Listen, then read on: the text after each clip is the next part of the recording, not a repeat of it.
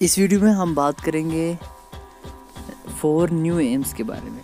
تو یہ سب اسٹوڈنٹس کے لیے گڈ نیوز ہے کہ فور نیو ایمز جو ہے وہ انٹروڈیوس ہو رہے ہیں یعنی کہ اس بار پھر سے سیٹیں جو ہیں ایم بی بی ایس کے لیے وہ بھی انکریز ہوں گی۔ اور اب اس بار ٹوٹل جو ہے وہ تھرٹین ایمس ہوں گی۔ تھرٹین ایمس جو ان میں ایڈمیشن ملے گی بچوں کو اسٹوڈنٹس کو، جو بھی پریپریشن کر رہے تھے ٹو تھاؤزنڈ نائنٹین کے لیے، بہت ہی لکی ہیں۔